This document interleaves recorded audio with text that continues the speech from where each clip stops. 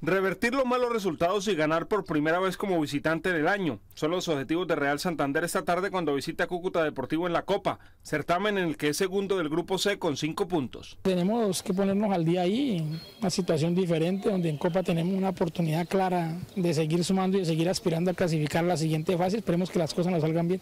La Copa es la salvación de Real en el primer semestre. En el torneo de ascenso cumple una muy mala campaña y clasificar la segunda fase de la Copa sería un revulsivo anímico importante. Sí, claro, un partido que tenemos que ir a buscarlo allá, a buscar los tres puntos Dios quiera y, bueno, vamos a salir a eso, a proponer y, y a seguir ahí peleando por esa Copa.